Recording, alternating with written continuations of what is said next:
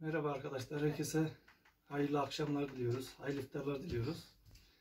Ee, ben yemliği çok severim. Gördüğünüz yemlik. Çoban arkadaşımızdan Ben Oğlum, de peyniri seviyorum. tamam. Ee, çoban kardeşimizden yemlik istedim. Dedim ki biraz dedim sen köyde yaşıyorsun yemlik getir dedim ha. Tamam dedi getireyim kanka dedim. Ulan dedim herhalde çoban yarım çuval kocaman 50 kiloluk torbaların yarısından şey getirdi diye düşündüm. Yemlik getirdi diye düşündüm.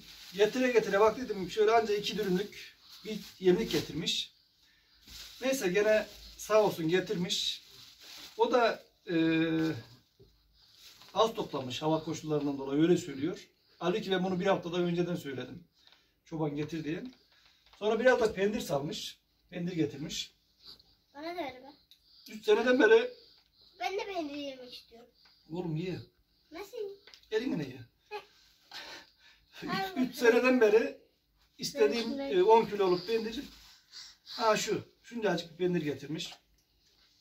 Eline sağlık. Pendir de gerçekten güzel. Ee, şimdi yemeği göstereceğim size.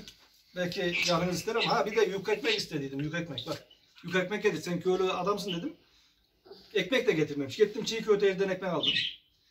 Ondan sonra şey yapıyor. Biz diyor artık diyor modern modern şeyiz diyor. Köylüyüz diyor. Ekmeğe diyor fırından alıyor diyor. Bunca acıkta bir ekmek getirmiş. Şey, yemek getirmiş. Ekmeği şeyden aldım işte. Çiğ köfteden aldım. Neyse herkese eee hayırlı akşamlar diliyorum tekrardan. Hayırlı iftarlar diliyorum. Bir de burundan ameliyat oldum. Eee ameliyat oldum. Ondan dolayı da çok geçmiş olsun diyenler oldu. Onlara da çok teşekkür ediyorum. Dua edenler oldu. Allah hepinizden razı olsun. Bir de sağ olun. Ee, sağ olun, var olun. Herkese hayırlı akşamlar tekrardan.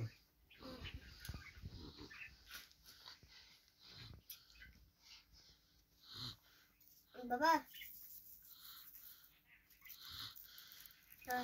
Tamam. bitti bitti mi? Hı?